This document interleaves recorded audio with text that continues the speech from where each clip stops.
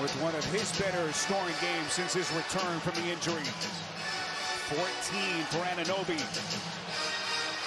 We hit the five-minute mark in this fourth quarter. but Batum